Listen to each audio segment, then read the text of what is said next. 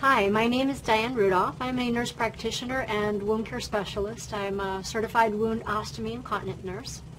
And I thought what I would do in this particular program is maybe have a little fun with you and present a few case studies really to allow you to maybe use some of your critical thinking skills and see if maybe you have the same thoughts and answers about how to manage some of these chronic wounds as I do. So with that in mind, I'll go ahead and get started. So our objectives today would include describing the difference between acute and chronic wounds, describing the etiology and management of some of the common types of chronic wounds that you will see in your practices, discuss the concept of critical colonization as it relates to wound healing, and keep in mind that chronic wounds are wounds that do not heal along a normal wound healing trajectory. These wounds are often a symptom of an underlying chronic disease process. They are a symptom of an underlying condition such as diabetes, peripheral vascular disease, venous disease, immobility, chronic kidney disease, anything that you can possibly consider as a chronic disease does have the potential in some cases to lead to a chronic wound that can be very difficult to heal. Patients that are immunocompromised or have nutritional deficits or infection may also be certainly at risk for the development of chronic wounds. So let's launch into our first case study here. In terms of the pertinent data, this is a gentleman who is 78 years old, long history of smoking, half a pack a day for many, many years. And as you evaluate him, you notice that his pulses are weak but palpable. Now he is ambulatory. He lives in an assisted living setting. He has very fragile skin and he's got a history of diabetes types 2. You notice that he has on his right lower extremity uh, a wound that's got moderate to copious serous exudates, no significant odor, the depth of the wound is about 0.8 centimeters, and it's located on his right medial malleolus. You'll also notice that this patient has a lot of dark discoloration to his skin in both extremities, a lot of hyperpigmentation. The skin looks to be a bit shiny and a little bit dry. So that makes you kind of wonder perhaps what might be going on with this patient. Here is a little bit of a closer evaluation, and you can see that these wounds are certainly not deep, but potentially very serious, and the overall skin condition is not that healthy. So, what is your initial impression of this patient? Do you think that he has peripheral vascular disease or diminished arterial supply to his legs? Could this be chronic venous hypertension?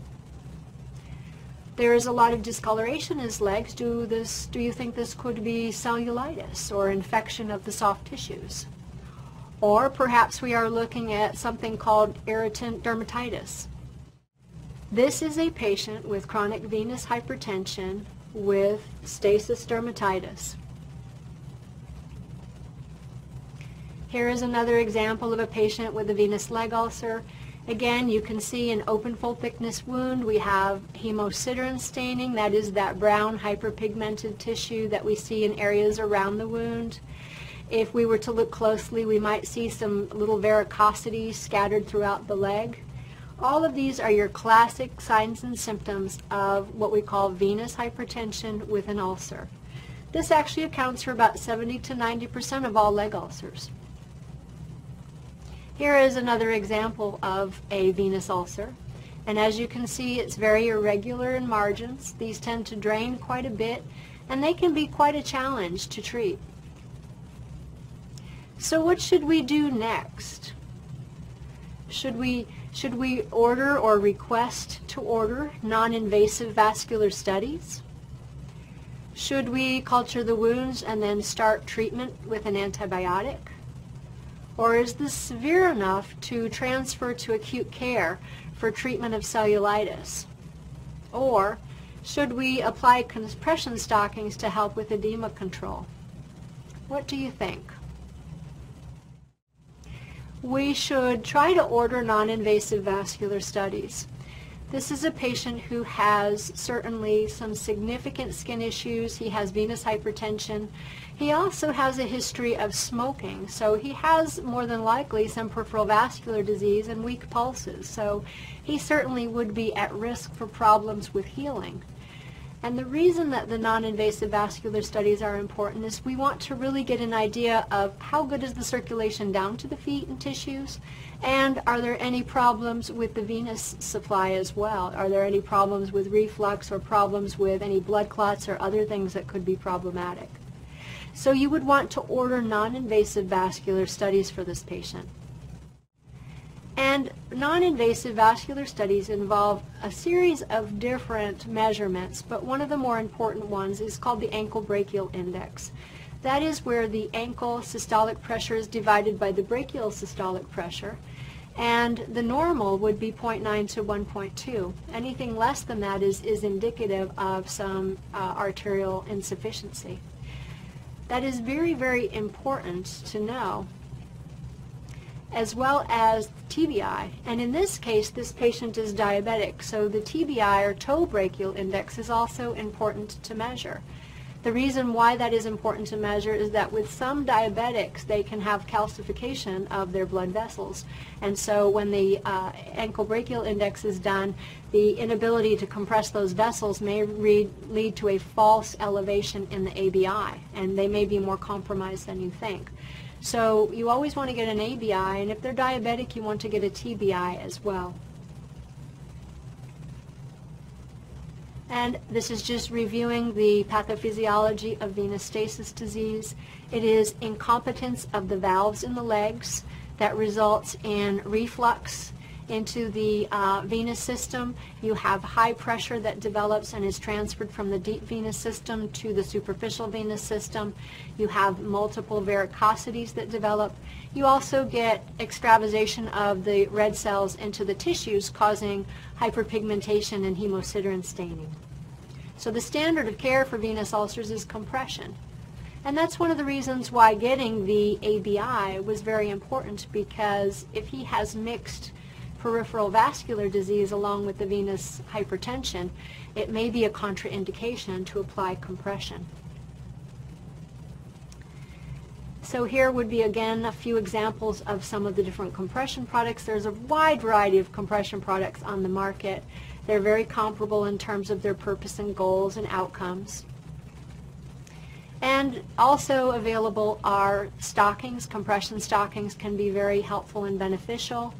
Uh, neoprene wraps called Farrow wraps can be used, or in some cases a lymphedema pump can be also uh, part of the standard of care. And this is the application of a compression wrap from the base of the toe to just below the knee. So to summarize, venous ulcers include 75 or 70 to 90 percent of all lower extremity ulcers. They're usually associated with a family history of obesity, trauma, pregnancy, surgery, uh, occupations of, of being on your feet for prolonged periods of time. We typically see them in the gaiter area, that is the area between the knee and the ankle. And classic symptoms include hemosiderin staining, which is that dark hyperpigmentation, large amounts of exudate formation, the lipodermatosclerosis, or that firm, hard, doughy uh, feeling to the legs, dermatitis, sometimes some itching, ankle flare, which would be a flare of small blood vessels or, or broken capillaries around the ankle, and then champagne bottle deformity. Standard of care for treating venous ulcers is compression therapy if their ABI is within normal, in other words, if it's 0.8 or better, or they have a TBI of 0.6 or better. And usually because these wounds drain quite a bit, you would want to use an absorbent type of product with these patients. So dressing options might include a calcium alginate, a hydrofiber, a foam dressing, or even a polyacrylate, which is the diaper technology. Other benefits of compression is it really can help to improve the overall condition of the skin.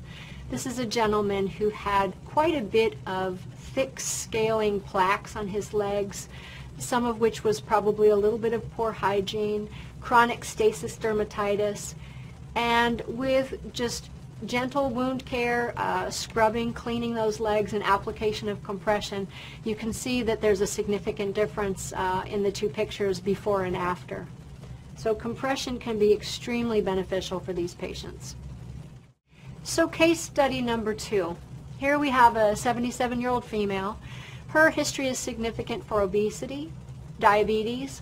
She has a history of a stroke or CVA with left hemiparesis. She's wheelchair bound. She had an acute onset of pain in her left lower extremity with low-grade fever. Her white count was 11.2 with left shift, meaning there was an elevation in the neutrophils. She was complaining of malaise and general discomfort. She just didn't feel good. And her Accu-Checks had been elevated for the last few days. This is what she looks like. And as you can see, her left leg is very, very erythematous.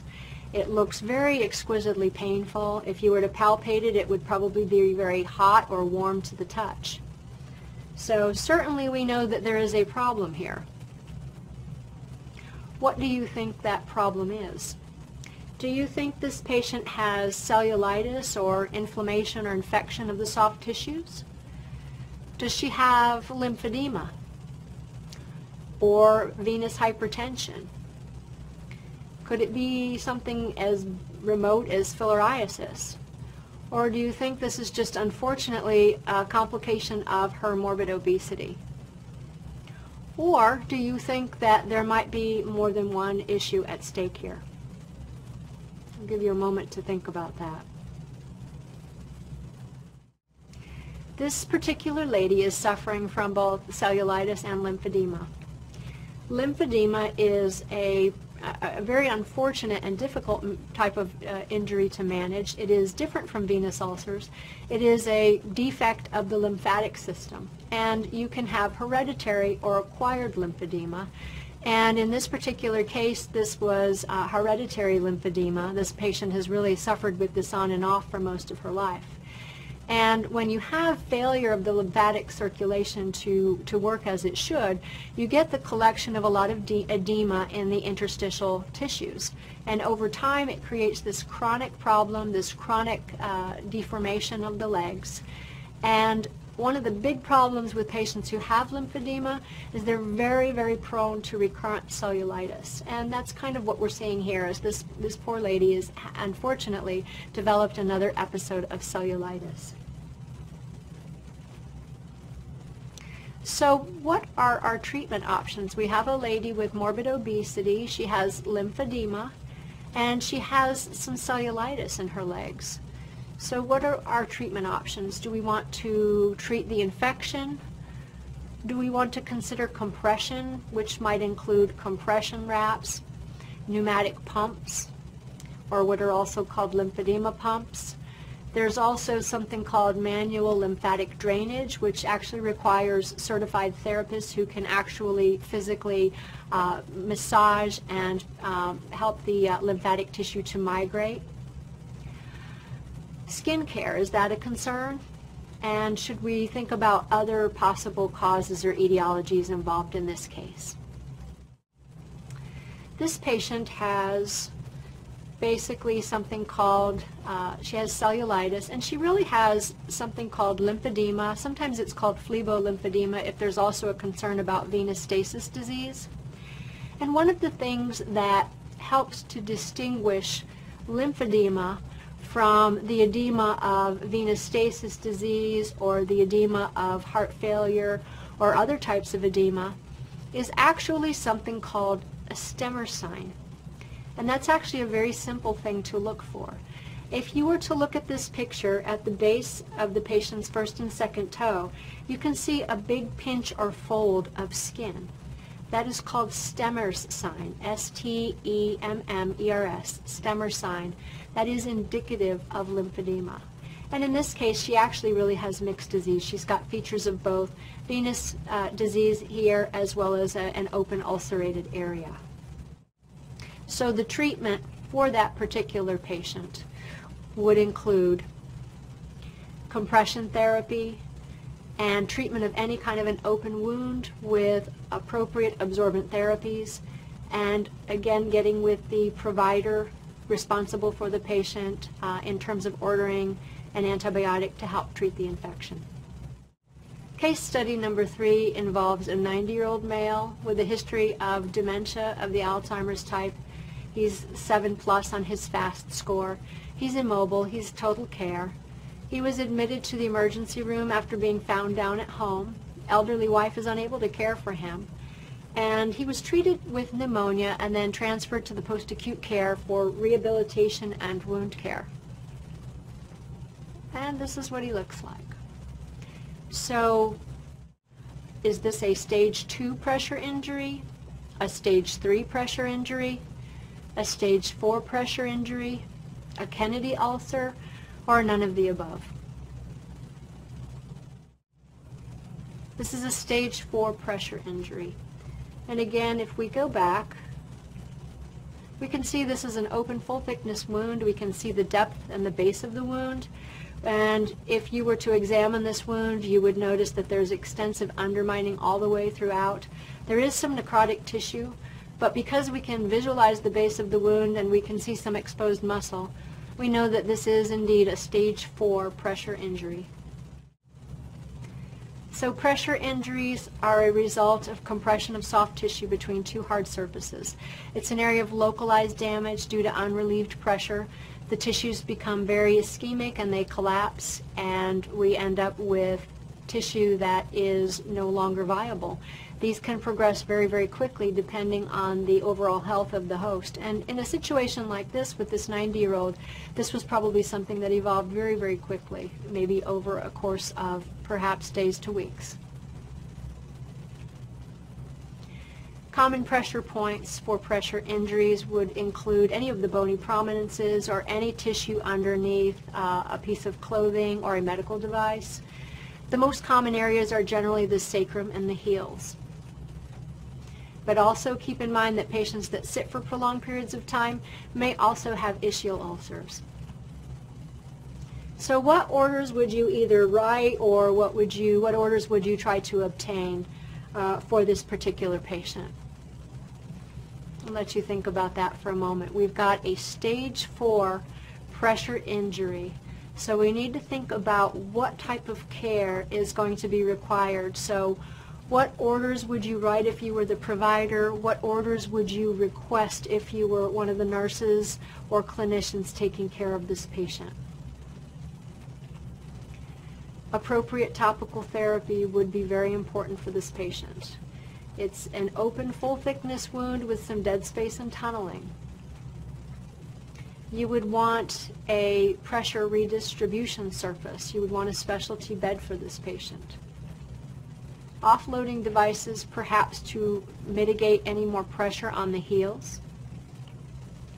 A Foley, that might be a consideration, especially with a wound this big and this extensive.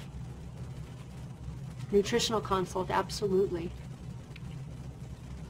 and depending on the overall goals of care and what the family desires, uh, perhaps a plastics or general surgery consult may be indicated. Um, but again, it's going to depend on what the goals of care are. Do we want to be aggressive with this patient and send them for a flap and prolonged um, hospital course, or do we want to just try to treat them with nutri aggressive nutritional interventions and appropriate topical therapy? Our goals of care here need to be very clearly defined. Is this aggressive care? Is this palliative care? Or is it something in between? And then that begs the question, because this comes up quite a bit, are all pressure injuries unavoidable?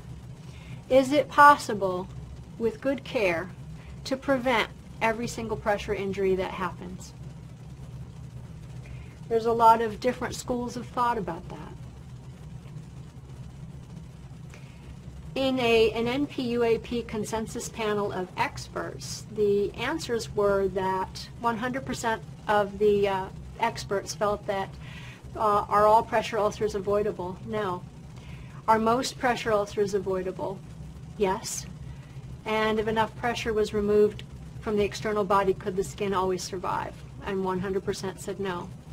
So there is a white paper also out that really begs the question. And in terms of avoidable versus unavoidable pressure ulcers, we recognize, or pressure injuries, we recognize that even under optimal care, sometimes the patient can be so compromised that even with optimal care, they may still develop pressure injuries. And those are what we refer to as uh, unavoidable, that nothing else really could have been done to have saved that patient's skin. Now, if it's a situation where the patient didn't receive the benefit of appropriate turning or repositioning, or the wound care wasn't done according to orders or on a consistent basis, or the patient um, perhaps was refusing care, or perhaps maybe the patient uh, patient's family didn't agree with the plan of care. Certainly some of those factors might come into play. But an unavoidable ulcer or pressure injury is one in which you have all of the appropriate care in place and you still have the development of a wound. Okay, case study number four. Pertinent data for this patient includes the fact that he is a, an older gentleman. He has diabetes, peripheral arterial disease, and stage renal disease. He ambulates with a roller. He is an assisted living resident. He has a wound with scant serous exudate, no odor. The depth is about 0.3 centimeters, and it's located on the right plantar foot at the first metatarsal head. And here is a little bit of a close-up, and you can see there is a large amount of hyperkeratotic tissue that has developed in the peri-wound area. So what do you think this is? Is this a pressure ulcer of the great toe?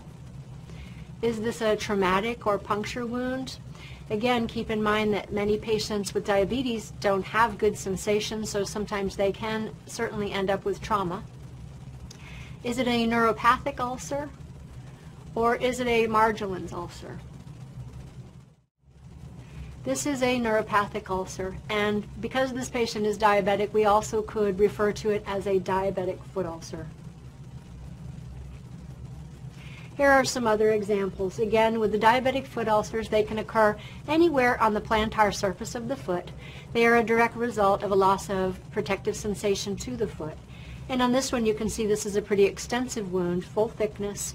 Uh, you can also see a little bit of hyperkeratotic tissue around the peri-wound area as well. Here is another example. One of the big problems that we see with patients who have diabetes is they may end up with an ulcer on their toe or their foot. And sometimes over time, because of difficulty with healing, they may be susceptible to losing a part or portions of their foot.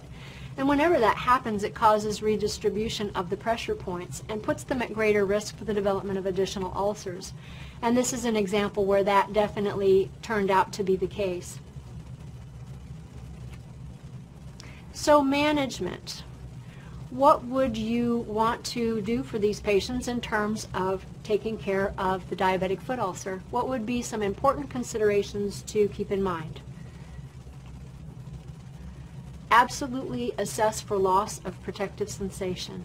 And that can be done using the uh, Semmes-Weinstein monofilament. If there is hyperkeratotic tissue, it's got to be debrided or pared off because that just becomes an area of greater pressure and can make the ulcer worse. You want to provide local wound care and appropriate options might be a hydrogel, collagen, or perhaps Medihoney. Offload, offload, offload. Again, these patients need to get pressure off of those wounds in order for them to heal. So after debridement, there's a nice clean wound here. And this is just to review the use of the monofilament to assess for protective sensation. This is a really important component of assessment. And for any patient that has diabetes, at least upon admission or at least upon an initial evaluation, it certainly would be a great idea to become comfortable with the use of the monofilament and to use these to screen for um, sensory loss in these patients. A couple of examples of offloading including the uh, DH Walker and the rocker bottom boot that help to redistribute pressure so there's not as much pressure on the forefoot when they're walking. And total contact casting is certainly also uh, appropriate as part of the standard of care. Usually this is something that is done in wound care centers, um, but sometimes patients can be sent out and managed at a wound care clinic for something like this. So in summary, neuropathic ulcers occur on the plantar surface of the foot. They are variable in depth. It's important to address the underlying disease. The diabetic control, the glycemic control is important. If it's caused by another factor, a nutritional deficit such as B12 deficiency or another type of neurological issue, that needs to be addressed as well. Debride the hyperkeratotic tissue. Offload pressure, again, that's extremely important. Any infection that's present needs to be addressed. And you want to certainly incorporate the concept of moist wound healing.